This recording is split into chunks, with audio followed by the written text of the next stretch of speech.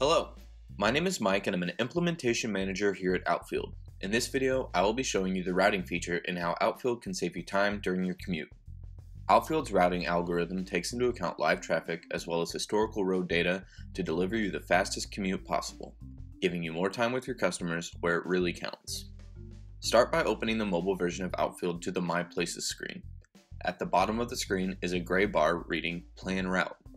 Tap that to begin creating your route. There are a few ways you can add locations to your route.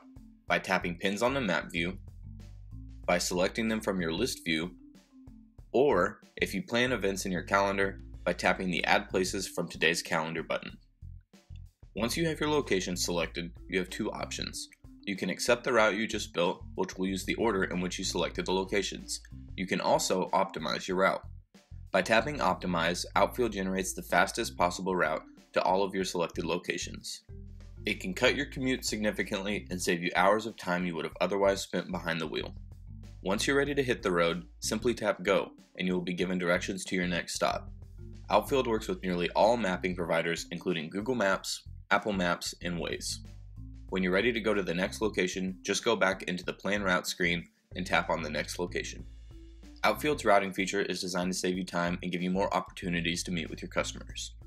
Let us know how much time you saved with the routing feature in the comments section below. We hope you enjoyed this video and are ready to take the field. If you found this video to be helpful, give us a like and subscribe for the latest Outfield videos. If you have any questions or have an idea for a new video, shoot us an email at support at outfieldapp.com.